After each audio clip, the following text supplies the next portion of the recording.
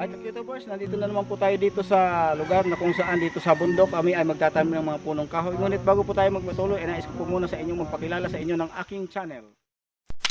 This is Abundi Forcat. Please, please don't forget to view, subscribe, like, comment, or share. And please don't forget to click the notification bells so that you'll always be advanced to my vlogs. Thank you.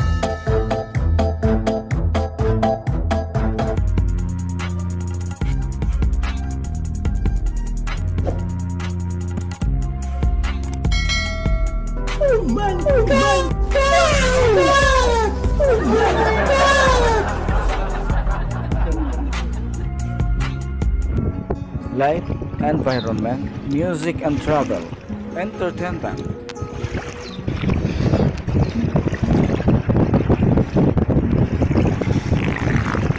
With comedy.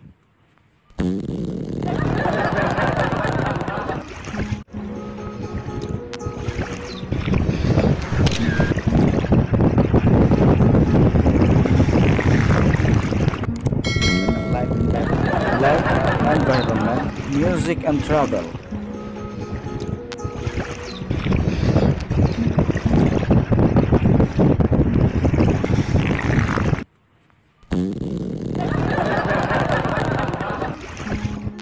Hi guys, the YouTubers, this is Abundi Forcat. Please don't forget to view, subscribe, like, comment, or share. And please don't forget to click the notification bells so that you'll always be advanced to my vlogs. Thank you.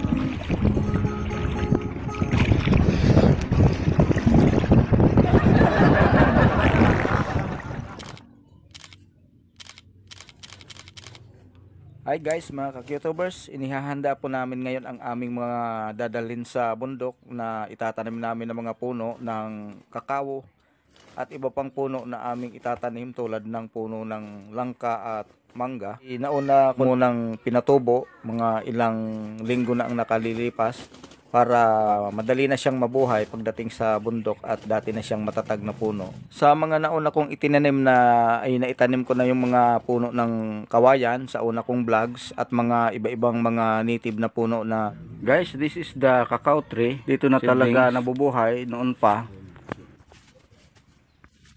Uh, I mean cacao tree because this is only one. But the other seedlings of this are here in the sack because uh, it's too late. We are uh, we need to plant many trees and we have to teach uh, teach the youth to to plant many trees before it's too late. And the world now is becoming hot because of the climate change. We have now uh, global warming everywhere and too much infrastructure, housing, and industrialization, our environment is becoming damaged and planting trees is now being neglected by authorities or even the ordinary people like us. Hi mga ka-YouTubers, amin pong uh, inihanda ang aming mga gamit ngayon upang kami ay pumunta na ang baryo, sa isang baryo namin dito sa Bulusan na tinatawag na Lower San Jose upang magtanim kami ng mga puno ng iba-ibang puno, lalo na yung kakao at mga puno ng langka, mangga at iba pang mga puno na aming itatanim sa aming lupa dito sa taas ng bundok ng Lower San Jose. Nga po mga kakwitubers, kami po ay nakasakay na papuntang Lower. Kami ay binabagtas na namin ang kahabaan ng Jose S. Reyes Street o kalye ng Jose S. Reyes dito sa aming bayan, dito sa Barangay Poblasyon mula sa aming baryo kahabaan at papunta kami ng Barangay Puktol paliko ng ah, malapit na papuntang Barangay San Jose dito sa Bulusan. At dito sa bandang ito, kinailangan naming kinailangan naming maglakad dahil hindi talaga pwede dito umakyat ang sasakyan namin na hindi babalansihin o babawasan ng tao dahil baka matuwal. Alright, YouTubers, Kasi hindi naman kami we nakasakay are sa going kotse. to the mountain of San Jose nakasakay sa Lower and kalesa. Bulusan. Kalesa na may gulong. Dati-rati talaga nung mga bata pa kami ay hindi talaga dito kaya puntahan ng motor. Walang makakadaan dito na sasakyan o anumang uri ng mga digulong na automobile, ika nga, mga motor. Pwede lang yung kalabaw. Yung parang kalesa rin na dala ng kalabaw. At saka yung mga troso, yung mga produkto na galing dito, mga kopra, abaka, pili, lahat, nyog, dadalhin sa bayan, lalo na yung malalaking troso hindi talaga kaya dalhin yun ng mga sasakyan dahil hindi naman pwede umakit ang sasakyan dahil sa mali, mal- maliban sa matarik ay rough road pa, saka maputik lalo na pag umuulan. Hindi tulad ngayon na marami na mga pwede nang umakyat ah, pati jeep, jeep sasakyan, mga kotse, motor, tricycle. Siyempre, yan ang tinatawag na pagbabago talaga. So, mala, madali na makapagdala ng produkto mula dito sa mm, Lower San Jose at Upper San Jose. Yan na siyang pinuntahan namin dito upang kami ay magtanim ng aming mga puno. Punong ah, langka, mangga, at lalo na yung mga puno ng kakao na aming dadal, dinala dito ah, upang itanim. At syempre kapag kapag namunga na itong mga tanim namin na kakao, marami na to. Ah, makakapag-export na kami dito, makakarating na kami sa iba't ibang bansa upang mag-export ng aming mga product na kakao, yung ginagawang tsokolate. Ah, bibintahan namin ang Hershey. Susunod naman, itatanim naman namin yung ube upang kapag dumami, plantation na yan, magdadala naman kami sa Magnolia Corporation dahil ang ube po ay isang mahalagang material para gawing flavor ng ice cream kaya yung mga gather namin dito na ube ay dadalhin na namin sa Magnolia Corporation. Yun ang ginagawang flavor ng ice cream na isa sa pinaka-paborito ko ring ice cream. At dito nga po ay makikita nyo ang iba't ibang klase ng malalaking puno. Ngunit nangunguna dito sa dami ang pili na isa sa mga famous dito na puno sa Bulusan. Mga pangalawa yung nyog at marami rin dito kawayan at syempre yung pambansang puno yung nara at saka yung mga native na puno ng Bulusan.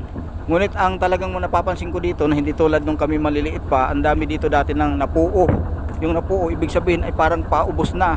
Halos wala nang makita yung puno ng abaka. Nakakalungkot dahil dito dati eh, sa mga daanan makikita mo na yung mga sampay na dami ng mga ah, ab- abaka na pinapatuyo sa araw. Put- kulay puti at brown dalhin na sa ibibenta na. Nag-i-export dati na ang, ang Pilipinas ng abaka at isa sa pinakamalaking exporter at nagdadala ng mga pang-export na abaka ay mula sa Bicol region, particular dito sa Bulusan, sa Sorsogon. Mga guys, mga kakutubers at nandito na nga kami sa Lower San Jose. Ah, malaki ng pagbabago, hindi na tulad ng dati.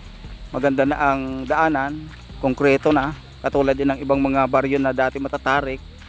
At kami ay nandito na upang itanim na namin ang aming mga pananim na puno ng kakao. Matarik pa rin dito yung ibang parte, ngunit yung daanan ay talagang siyempre malaki ng pinagbago, pinaganda na at patuloy po na pinapaganda yung alam ko na ibang parte dito sa aming mga bundok dito.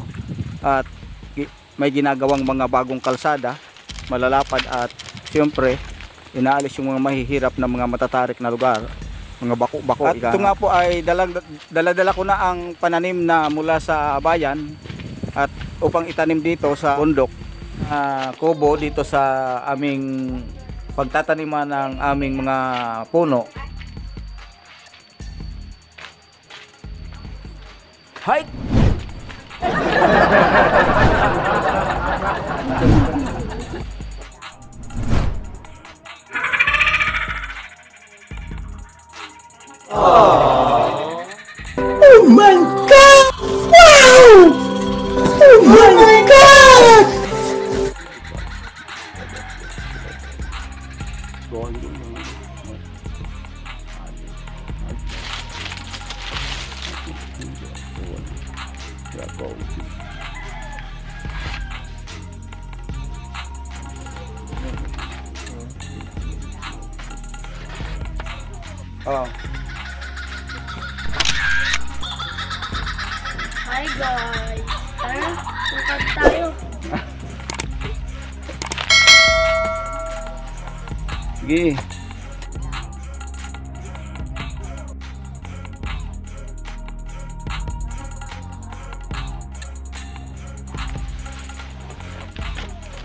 Hi guys. May ano dyan? May ano din ha? Bye. May dugo. Dito po sa bundok o kahit saan mang bundok kailangan po natin ng pag-iingat dahil siyempre sa isang pagkalikat natin maaari tayong malaglag sa tinatawag na bangin o sa mga talampas na kung saan merong malalim na, ba- na bahagi. At dito rin nga ay meron din daw kaya siyempre nag-iingat kami. Merong mga butas na hindi mo malalaman kasi natatakpan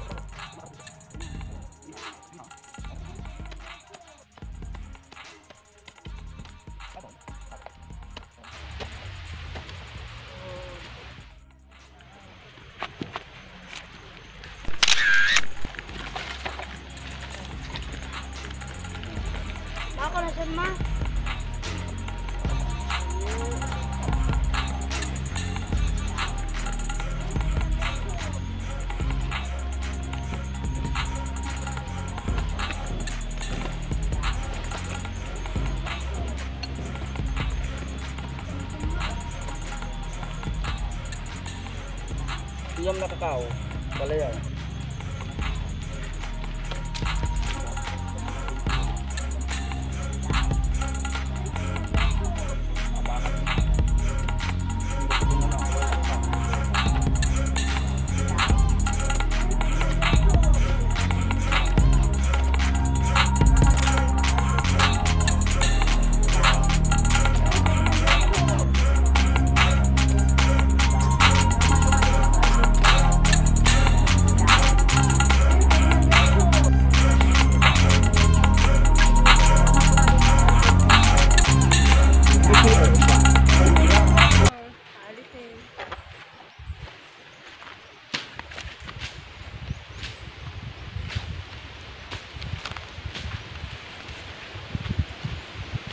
Guys, this is one of the seedling that we are going to plant here on this farm.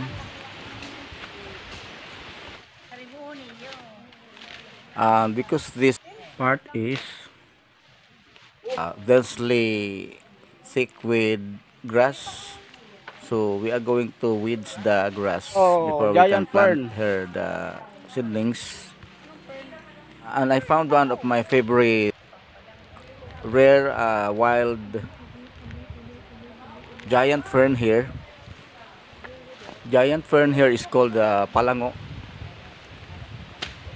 At syempre, simula po nang mauso yung mga tinatawag nilang plantitos plantitos sa Maynila, lalo na nung magsimula yung pandemic. At syempre, ako hindi naman ngay- ngayon lang nagka-interest ng mga ganitong mga collection ng halaman, lalo na yung mga rare o wild plants. Dati na ako mahilig, pero lalo na ngayon nagka-interest ako dahil na uso nga yung mga plantitos plantitas. At isa sa pinakanais ko na makita yung yun ang tinatawag dito na palango o giant fern. At dahil po Come sa on! pag aalis namin ng mga dawag Let's go! dahil sa pag, ah, kami magtatanim ay, ay nakakita ako at syempre sa lahat ng gawain mas, mag, mas magandang magabayan o maisama yung mga bata na katulad nila dahil sa kanilang edad sa ganitong edad nagsisimula ang kanilang interest o Wala. kasama ng curiosity. Ah, kailangan din sila matuto, maturuan lalo ng mga mabubuting hilig katulad ng pagtatanim.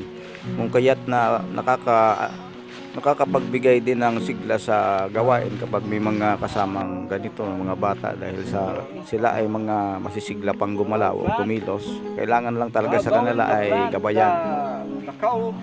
Hi guys. Hello. Show your kakao. This is the cacao plant To plant. here. Okay. Let's see if we do it. Okay. Tuloy. Ah, sige. you can plant trees while you are young and when you grow older you can Kaya, reap or you can punitin mo harvest lang what you sow kanyang what you lupa. planted on your Kaya, land. kaya punitin. Hi guys. I'm back.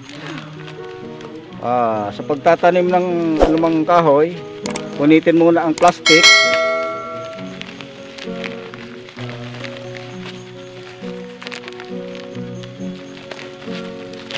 Ganyan, buo pa ang lupa at hawakan ng bata, magpakita ang mukha.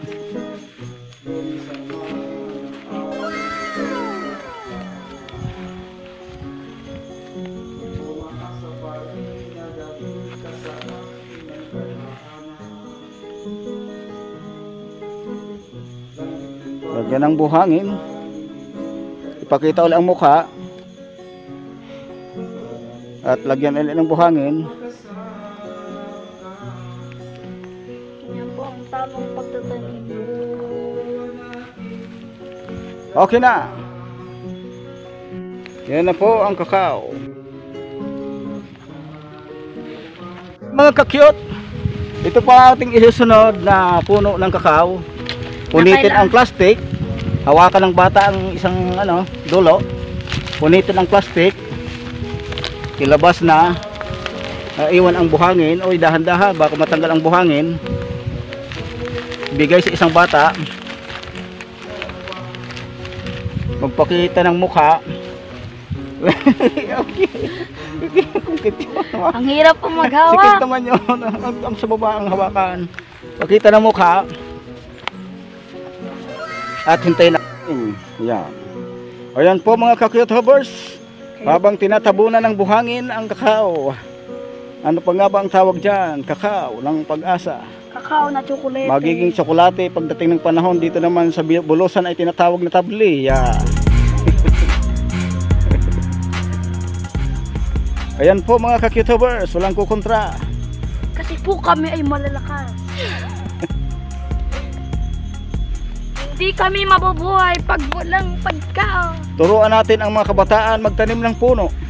Dahil sa darating na panahon, hindi naman natin pwede kainin ang bunga ng plastik na puno at lalo namang pwede, pwede kainin ang plastik na bunga at hindi sila nagbibigay ng oxygen sa environment. Sila basura ang ibinibigay ng plastik. at kasiraan sa mundo. Ayan.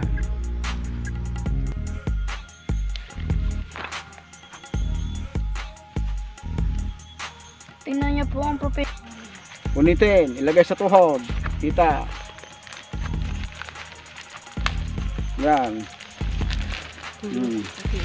Dahan-dahan, baka mapuwing ang mata. Oh. Di ba? Okay na. Ingat lang po kayo pag nagtatanim kasi minsan po natatalisod po tayo. Hmm. Yan Oh. po ang Sige, lupa. Ang buong lupa. Buong lupa. At saka, Hmm. hello guys. Hindi ka na mag Mabubuhay po tayo sa pagtatanim. Yan. Tumulong po tayo sa lahat ng mga nahi nahihirapan na tao. Kaya laban lang mga Bicolano.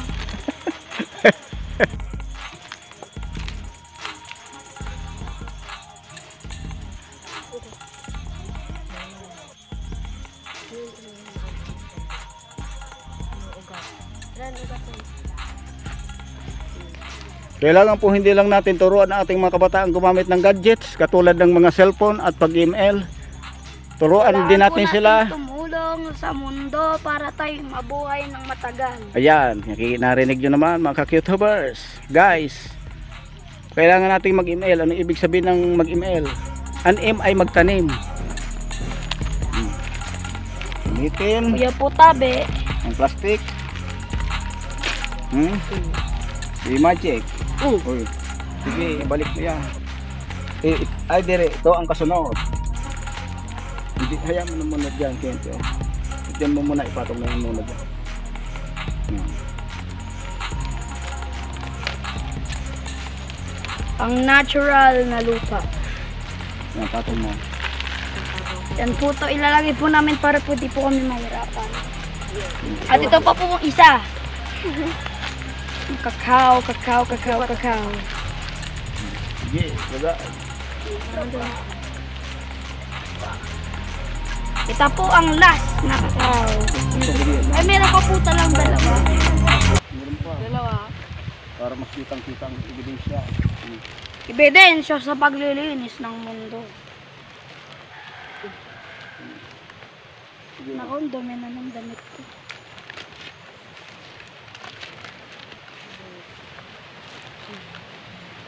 Hmm. Yan po mga ka-YouTubers. Yan. Yan. Okay. Sige. Next.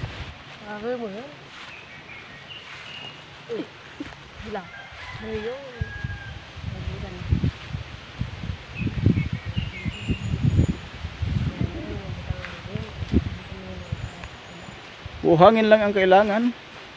Pumunta na kayo dito sa kabundukan. ng- Ingat lang po tayo sa ganitong matudulas kasi po baka tayo po yung makaksidente. Ingat-ingat lang po pag kayo yung nagtatanim. At nasa oras po yan kung kailan po mabubuhay. Sa bandang po dito, bandang gilid ay merong talampas. Kunting pagkakamali mo, laglag ka sa pinakamalalim na lupa. Ang makikita mo na si Lord.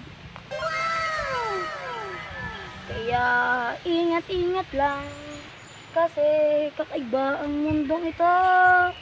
Sige, buhangin. Pwede pa yan, i-review na lang mamaya. Right. Meron pang mga nalalabing pang tanim. Kunin mo na. Yun, yun pa. Yan man. Yun, may isa doon. Dulo. Pa. Dahan-dahan lang. Kasi may, may talampas dyan, banda. Yan, dyan. Hmm. Yan. Guys, we can hear different birds here. Birds that we can hear only on this mountain.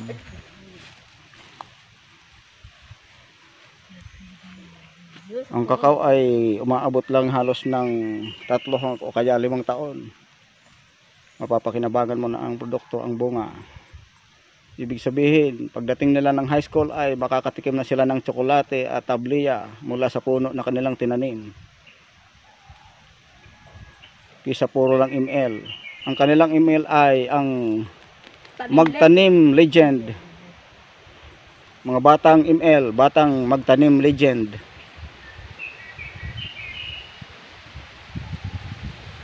O kaya Magtanim Luntian. Ito po ang legendary na piko. Dahan lang. Medyo nahihirapan po kasi po sira na po ito.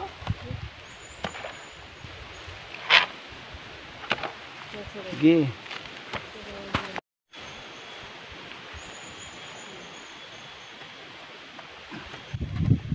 Ba't ba pag magbikol ay naukad? ba, okay na. Sige.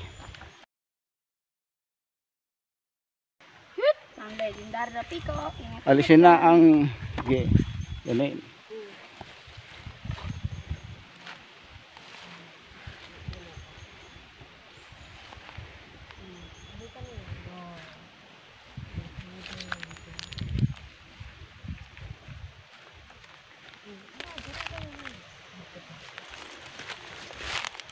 Lagyan na ng buhangin. Ang tinanim. Lupa po. Yan. Patayuin.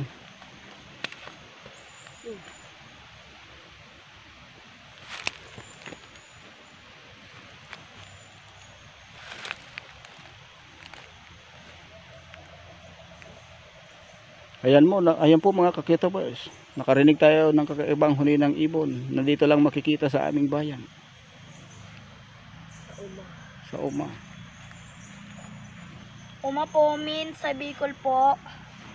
Bundok.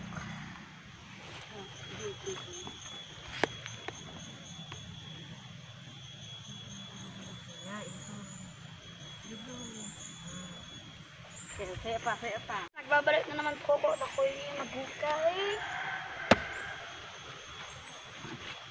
Sige, hukay. Yan. Nakita nyo naman mga kakitubers. Dalawang bata ang nagtatanim. Hindi sila puro ML, kundi meron ding ML na ibig sabihin ay magtanim luntian, magtanim legend. ML, magtanim luntian, magtanim legend. Hindi puro gadgets. Ay, Siyempre po, probinsya po ito maulan. Kaya, naano na po namin. Ang araw na to, hindi na po. Kasi po Sige. bukas po mag-start na po yung klase. Klase. ko po. Kaya, kailangan. hindi ko na po itong last week. Ah, kaya pala. Bu- bukas simula na ng ano, ng module. Yes po, So, kaya. last day ngayon ng bakasyon. Kunwari, bakasyon. Ngayon, kaya kayo nagtanim ka na ng mga puno. Ah, kaya pala. Hmm. Tanim na, no, no. Pwede na yan. Ken, tara.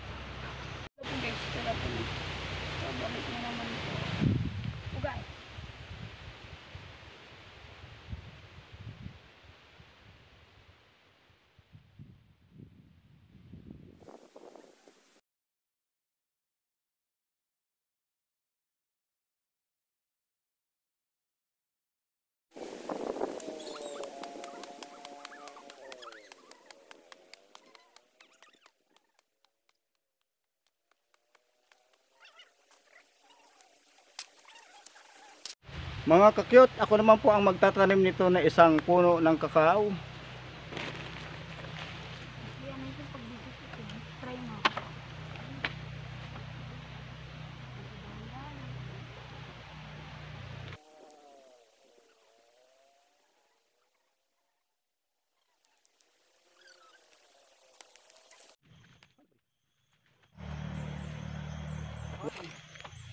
Kainin na naman ga, itanong tapain.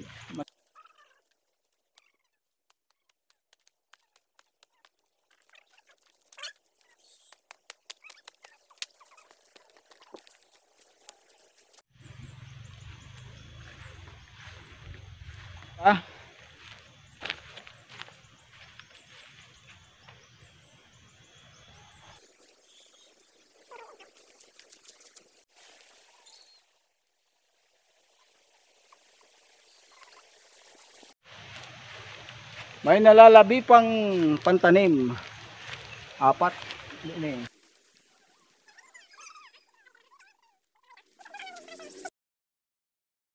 Guys, make a habit to plant a tree always. This is very important for our environment to give us oxygen and fresh air. How can we breathe air from the plastic? We cannot Tree. eat fruit from the plastic trees. Mga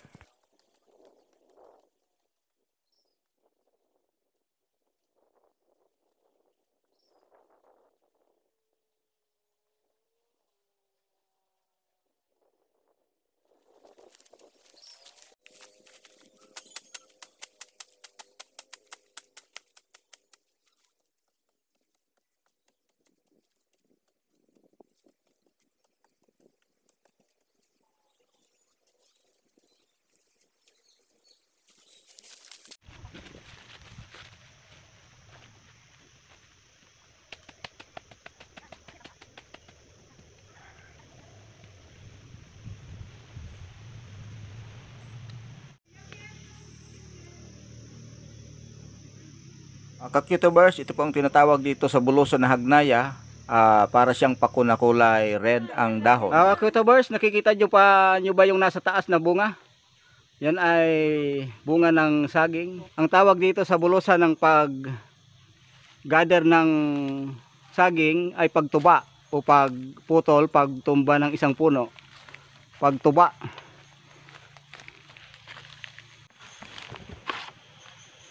Oh. Ang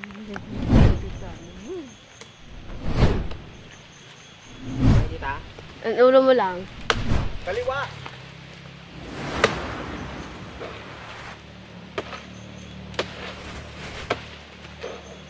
Wawa man.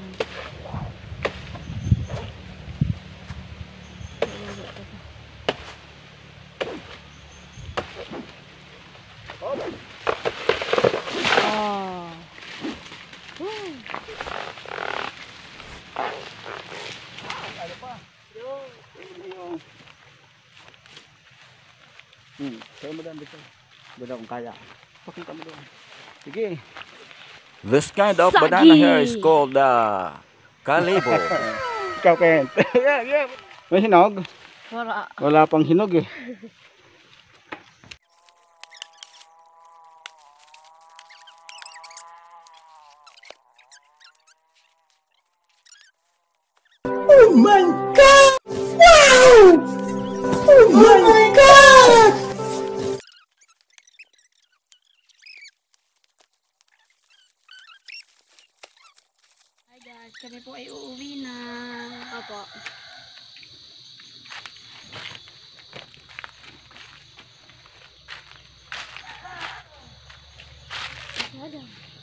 At mga guys, YouTubers, kami nga po ay pauwi na dahil mag-aalas 4 pasado na. Tamang-tama, alas 5.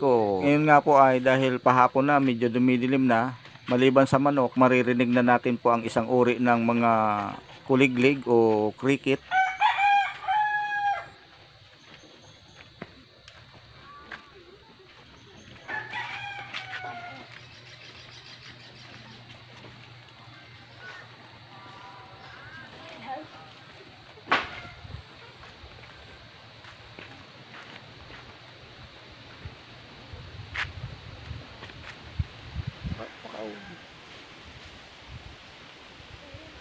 Makikita po natin sa paligid ang mga nagtataasan at naglalakihang mga kawayan o bambo.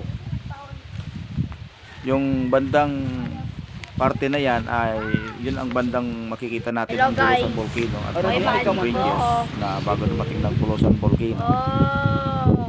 Masakit po ito sa loob.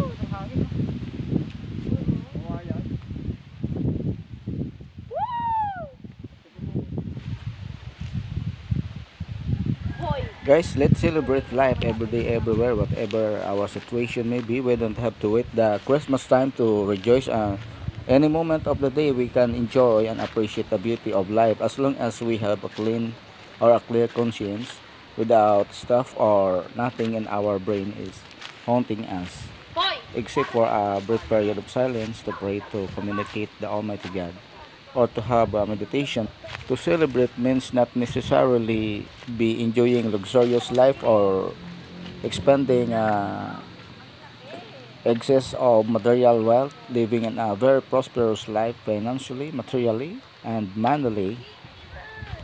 But we have to grab all the opportunity of every moment of life. Above all, let's pray always to God